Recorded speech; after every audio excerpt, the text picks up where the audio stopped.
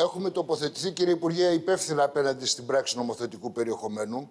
Θεωρούμε ότι κινείται σε μια κατεύθυνση, όμως δεν τη θεωρούμε επαρκή. Γιατί το λέμε αυτό, γιατί προβλέπει προσλήψη 100 ατόμων ιατρικού και νοσηλευτικού προσωπικού που θα καλύψουν έκτακτες ανάγκες για τρίμηνη σύμβαση. Εμείς δεν λέμε αυτό το πράγμα, γιατί ουσιαστικά τα κενά τα οποία υπάρχουν μόνο στο νοσοκομείο του Ρίου, το οποίο νοσοκομείο αναφοράς είναι πάνω από 160 γιατροί από το οργανόγραμμα το οποίο έχει το νοσοκομείο του αυτή τη στιγμή.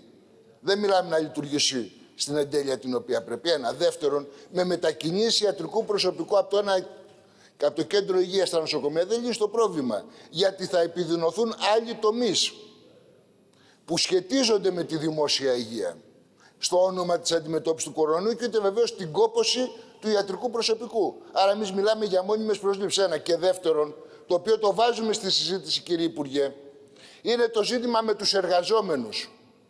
Είναι το θέμα με τους εργαζόμενους. Αν θα πάρθουν μέτρα στους χώρους εργασίας όπου υπάρχει συγκέντρωση εργαζόμενων και δεύτερον, αν θα διευκολυνθούν οι εργαζόμενοι που έχουν μπει τα σχολιά τους σε καραντίνα να μπορούν να κρατήσουν τα παιδιά.